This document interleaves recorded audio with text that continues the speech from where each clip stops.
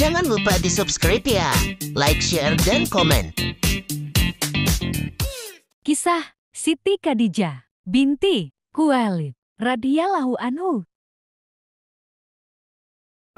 Khadijah lahir dari keluarga kaya dan terpandang. Sang ayah, yaitu Khuwailid, merupakan salah satu pemimpin suku Quraisy yang sangat berpengaruh. Meskipun demikian, dia tidak seperti orang Quraisy lainnya yang suka mengubur anak perempuan hidup-hidup. Bagi Khuwailid, anak perempuan sama berharga dengan anak laki-laki. Berkat pendirian ayahnya itu, Khadijah dapat tumbuh dengan baik. Dia mendapatkan pendidikan yang sama dengan para laki-laki. Dan ini menjadikannya sebagai perempuan cerdas. Sejak masih muda, Khadijah sudah berbeda dengan gadis-gadis lain sebayanya. Ketika ada perayaan besar, para gadis akan berkerumun di patung-patung berhala untuk berdoa. Namun, Khadijah tidak pernah ikut satu kali pun. Karena sifatnya yang mulia ini, Khadijah mendapatkan julukan At-Tohiroh yang memiliki arti suci. Ketika sudah dewasa, Khadijah mampu berdagang jauh lebih baik daripada laki-laki dan dia pun menjadi saudagar yang kaya. Suatu hari, Khadijah mendapatkan mimpi yang aneh. Dia melihat matahari turun tepat di atas rumahnya dan bersinar sangat terang. Ketika terbangun, Khadijah merasakan sesuatu yang hangat dan menenangkan jiwa. Khadijah bertanya pada Warokoh, sepupunya yang sangat pandai dalam menafsirkan mimpi. Menurut Warokoh, arti dari mimpi Khadijah adalah akan turun cahaya kenabian ke dalam keluarga Khadijah. Masya Allah, sungguh gembira hati Khadijah. Perdagangan milik Khadijah semakin berkembang. Apalagi ketika dia menerima pegawai baru bernama Muhammad. Sifat Muhammad yang tekun, kerja keras dan jujur mendatangkan banyak keuntungan bagi Khadijah. Muhammad pun dikenal sebagai orang yang mulia. Dia sangat taat, bertanggung jawab, dan berhati lembut. Ketika Muhammad pergi berdagang ke negeri lain, selalu ada awan tebal yang menaunginya. Menurut ramalan para rohib, inilah tanda-tanda kenabian yang akan muncul.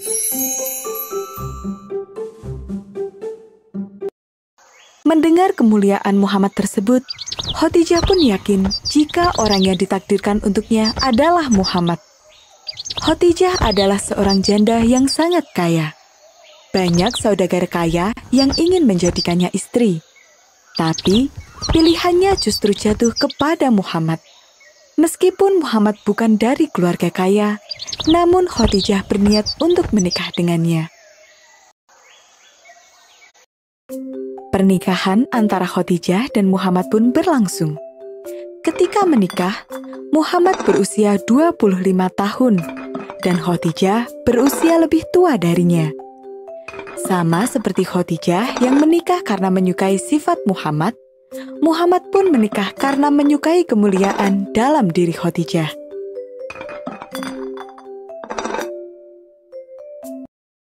Dalam pernikahan itu, mereka berdua dikaruniai enam anak, yaitu Al-Qasim, Zainab, Rukoyah, Ummu Kulsum, Fatimah, dan Abdullah.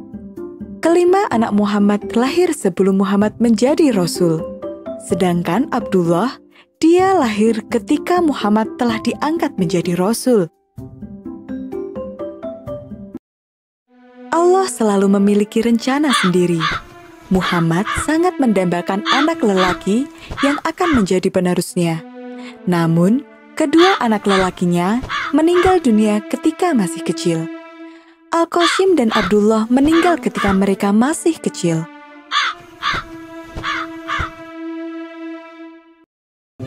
Muhammad dan Khadijah memang hidup bahagia.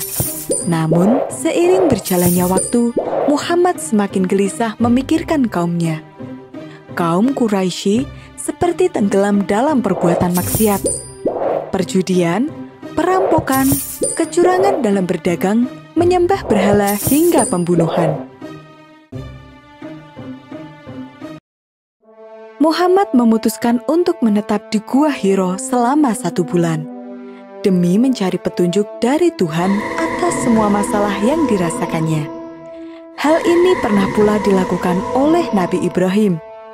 Namun, ini artinya Muhammad akan meninggalkan keluarganya selama satu bulan penuh.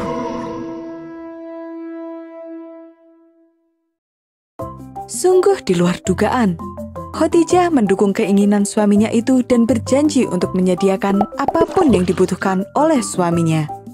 Mulai dari makanan, minuman, pakaian, hingga pengawal yang menjaga Gua Hiro selama suaminya berada di sana.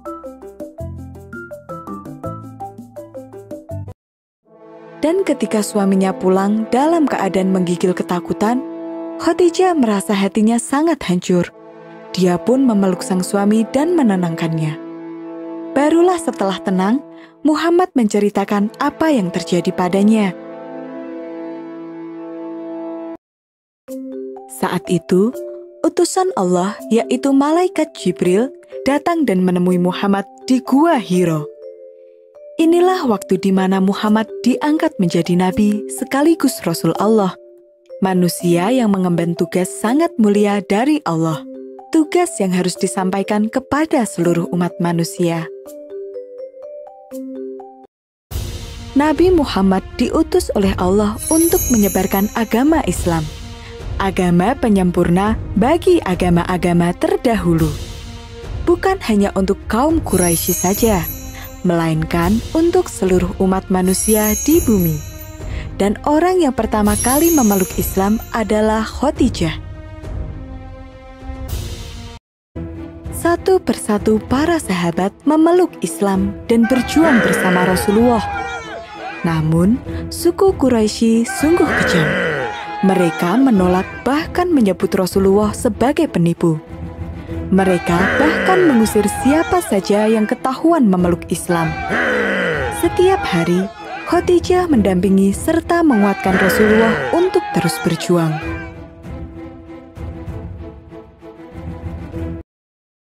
Hampir selama tiga tahun, kaum muslimin terdesak dan terpaksa mengungsi ke sebuah tanah gersang. Tidak ada makanan, pakaian, ataupun air minum. Dan mereka hanya tidur di tenda-tenda.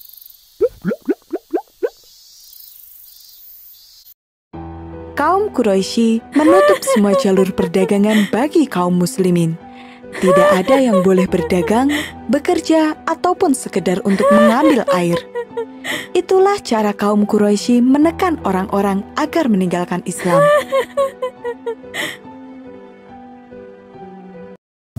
Dalam cobaan yang panjang itu, Khadijah tetap setia mendampingi Rasulullah.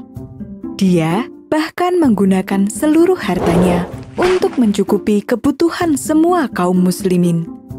Dia merawat Rasulullah sekaligus ikut menyebarkan agama Islam. Ketika akhirnya kaum Quraisy kembali membuka kota, kaum muslimin pun dapat kembali ke rumah masing-masing. Setelah itu, Khadijah pulang ke rahmatullah.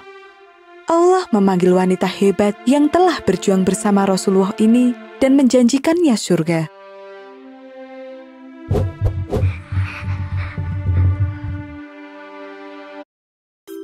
Inilah kisah Khadijah, istri pertama Rasulullah. Orang yang pertama memeluk Islam dan wanita pertama yang berjuang bersama Rasulullah. Ketika orang lain masih kufur, Khadijah telah beriman. Dan ketika yang lain meninggalkan serta mencemooh Rasulullah, dia tetap setia mendampingi. Sungguh wanita mulia.